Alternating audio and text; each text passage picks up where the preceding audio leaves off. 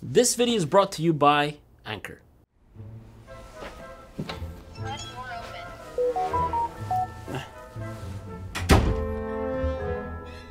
Oh man. Oh, this is what Apple is so much better. Yo. Yo, okay, write this down. Okay, just give me two seconds.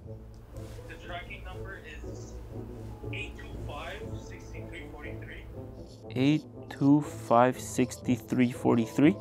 Yeah, okay, now copy paste that into my Mac. 63. Oh, by the way, it also airdrop me the picture you took yesterday. Uh, I took them with the Samsung. Okay, useless, man, I swear. Hello? Hello? I absolutely love phones. I think out of all the tech we carry with us every day, phones are the most important in my opinion. As an iPhone user, I'm not really close-minded when it comes to trying other phones. In fact, the S23 Ultra recently came out and I decided to buy it, unbox it, and compare it to my iPhone 14 Pro so I can decide whether or not it's time for me to change teams.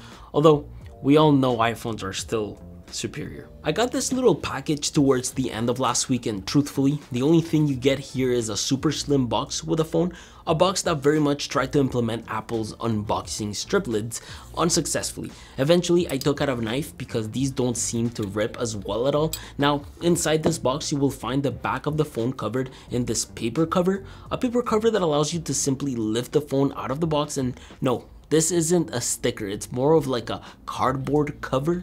At the end of the day, it reveals this beautiful green that should be paired with a clear case. And then in the front, the screen is protected with a peel off sticker. I honestly love that sound and I also love this beautiful OLED screen a bit more than what Apple has to offer I have to admit.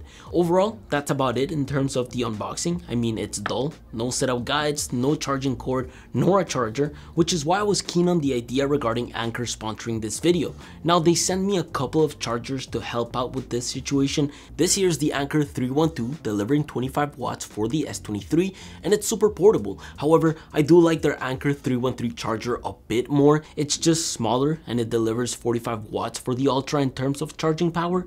Both are fast chargers, don't get me wrong, as long as you have a proper 5 amp charging cable like their bio-based Anker 543 USB-C cable. And the day I unboxed the Ultra, the very first thing I did was charge this phone. A full charge from zero can take about an hour to complete. You just gotta make sure fast charging is enabled within your settings. Anker, by the way, are a company that produce insane charging technology and we've had a few of their things around the office. This Anker 313 GaN charger is no exception. Both though provide super fast charging. Anker's 45 watt cube is 30% smaller than Samsung's original brick. They both of course fold up. They also guarantee their peak powers, all safely due to their over temperature protection, current regulation, their 10 layers of protection, and so on. So if you got an S23, I recommend you get their 25 watt cube, and if you got an S23 Ultra, I recommend you check out their 45 watt cube. Both of them will be found in the description down below. Now, I'm coming from a phone that's curvier, slightly thinner in a way, and also smaller, so holding the Ultra in my hand does feel different. Good different and bad different. You see, compared to the S22 Ultra, I absolutely love that Samsung redesigned the curvature of the S23. Personally, I find it to be a very comfortable experience. It's less curvy and a bit more squared like the iPhone, but still keeps its design language in every way possible. The only thing I do hate coming from the iPhone is that, well, in landscape, it really is not comfortable. The sharp 90 degree corners on this phone are just very, annoying. They did say that making the S23 boxier allowed them to better optimize for the S Pen. I'm guessing it also allowed them to keep their 5000 milliamp battery in there. Now, if I was to compare this to the Pro Max, this here is lighter at 234 grams. I don't know if it's because of the camera lenses not protruding as much as the Max or just an overall design and components factor. Not that it matters because at the end of the day, I do wish iPhone had the ultrasonic fingerprint technology this has. However, I'm an Apple fanboy and I do like the iPhone's colors a bit more. Don't get me wrong, the green, the black, lavender, and cream look great, but there's just something about a purple iPhone that does it for me. I sort of regret not getting purple for my daily. I also did realize that this textured matte glass is fairly fingerprint resistant. It's obviously not the case with Gorilla Victus 2. They say it's supposedly more tough and I hope that's true because my S22 Ultra got a chip on the screen a few days after I got it. Yeah, Samsung. I'm honestly scared to ruin this beautiful 6.8 inch edge to edge OLED display. It definitely needs a screen protector. The iPhone 14 Pro also has an OLED display. However, I've always said it, Samsung displays look better, sharper, and a lot more colorful. I usually like the haptic feedback these deliver a lot more, but I have to say iPhone 14 Pro has more of a similar haptic touch this year now. Also similar is the peak nits that 14 Pro delivers compared to what Samsung now delivers. We're talking about 2000 nits versus 1750 nits. Yes, outside it can come in handy having that extra 250 nits, but I'm not too sure I might benefit from it. LTPO versus ProMotion, not quite sure if this is an OS issue, but iPhone feels a lot smoother and the change in hertz does feel a bit more natural. It may be that some apps like Spotify for example are not as optimized for Android, but LTPO is just not as good. I'm not hating, uh, this is just like a fact, a fact like the fact that the Samsung speakers sound really good. I think they are better compared to the iPhone speakers and I do appreciate Samsung for letting me tweak the volume, the bass, the treble and so on.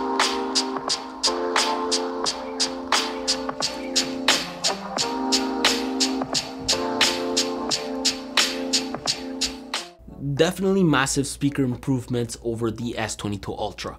People online also seem to be saying that the new SoC saw a huge jump in performance. This here has the same chip that was unveiled at Qualcomm in Hawaii a few months ago. In short, the Snapdragon 8 Gen 2, which is responsible for things like the new 200 megapixel camera, LTPO, better battery life, running the phone cooler, gaming, handling storage efficiency, and so on. I ran a couple of benchmarks and it is in fact more powerful than the S22 Ultra, but not more powerful than the iPhone. Do I care? Not really. I guarantee that 90% of people won't even realize the difference in performance. Most of the time, especially nowadays, phones can feel slow because of optimization issues, poor written code within an app, and whatnot. Like, are you really going to benefit from the fact that this phone is 50% faster in some games compared to last gens? What I did realize of the bat is how insanely fast this memory is. This is the fastest flash memory in the world. Reads and write speeds are almost two times faster.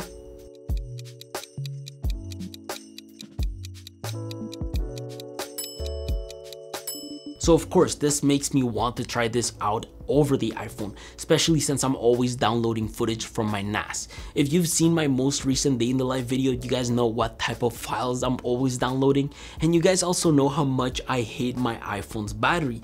Apple Silicon is supposedly to be unbeatable in terms of power efficiency, and it's why I'm starting to think I have a faulty unit because it truly barely makes it throughout the day. While this truly bothers me day to day, it really is one of the reasons I am willing to give Samsung a try. I mean, yes, the iPhone 14 Pro Max has better battery life, and I can just get that, but Charging the S23 from empty with a 45 watt cube only takes about an hour or so. It's much faster compared to the iPhones, which is why I'm very much debating changing to the S23 Ultra and give this 5000 mAh battery a chance.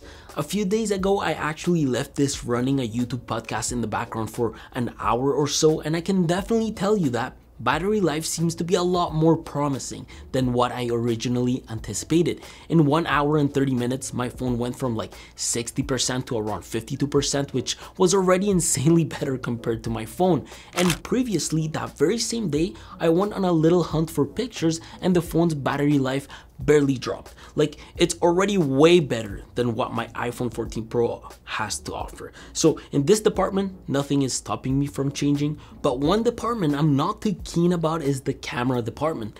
Don't get me wrong, their new 200 megapixel lens is surely impressive, but I love the native support of the iPhone camera within apps. Look, in terms of pictures, this is what I was able to capture up to now. 1x pictures look fantastic in both phones. From the sunrise I took Monday morning to the mix of natural lighting and artificial lighting at the Lambo dealership, things look great. I will say sometimes the colors and the dynamic range of the S23 Ultra can be better, but when it comes to darker rooms, things can vary quite a bit. I just think the iPhone just genuinely delivers like a more natural picture within dark environments, which is what I want. It also seems like the S23 has a bit more trouble when it comes to handling the massive change in lighting.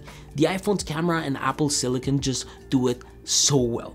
I also took some pictures at different focal ranges, a few in the EQS which they all look about the same to me and these were not the only ones I took. I also took some at the Lambo dealership but what I really wanted to test was the 100x focal length and I did. In fact, I compared it to the S22 Ultra and the S23 really has some major improvements in my opinion. Up to this point, what I haven't told you is that the pictures taken up to now were 12 megapixel images from the S23 and that's because 200 megapixels and 50 megapixels only limits you to certain focal lengths. 200 megapixels can be fun to shoot with. I mean, makes images look a lot more detailed. I took some images a few days ago to compare with my iPhone 14 Pro and if you zoom into the picture, you can really tell the difference in quality. They're actually so heavy in file size and information that my video editor has a hard time playing these. Look, there's so much I can do with this phone and I actually like the outcome. The only two things that really bother me is the shutter lag and native support, but I do think 4K ultra wide at 30 frames per second looks good. The same thing goes when it comes to its 12 megapixel front face camera and 8K videos with or LUT along image stabilization look stunning. Just overall being able to have so much at hand like the fact I can adjust the camera settings so quick is awesome. I'm not saying that One UI is better than iOS because it's not. What I'm saying is that both of them have their pros and cons. Like for example, I hate the fact that swipe up sometimes brings up Samsung Pay or the fact iOS doesn't have split screen. My issue though is that giving up things like universal clipboard, iMessage, AirDrop, instant hotspots, a physical switch for mute, it's all hard to give up. At the same time, it would be nice to have dual Bluetooth audio, battery share, an actual system volume menu, and so on. I think iOS is better in terms of speed and optimization, but I do think One UI feels a bit more complete, especially when it comes to searching for things. Their spotlight is easier to query to the point that you can easily query setting option and it gives you much more. Video wallpapers are also not a thing within iOS, not that I need them but it would be sick to have. Plus you can easily tweak settings with one hand because of how accessible their quick settings is, which I also don't understand why iOS doesn't let you access the settings app from Control Center.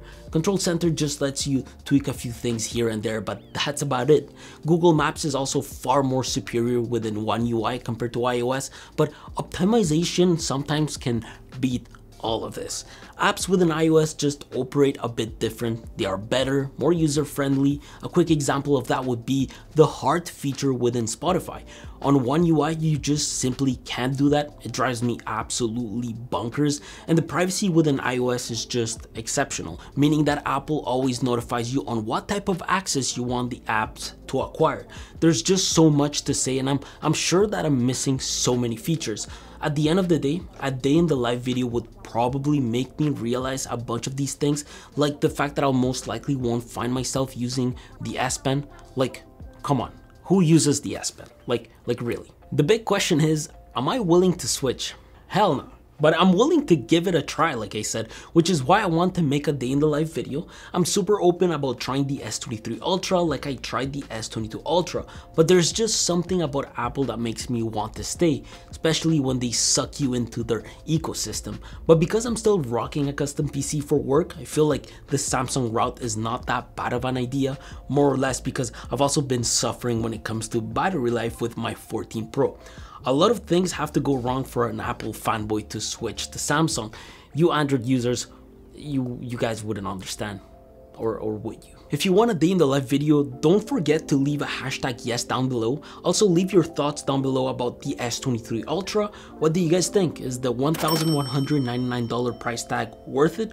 Or do you think the more superior phone, the iPhone 14 Pro is far more valuable? I'll let you guys discuss. My time here is done. I'll see you guys next Sunday. Take care.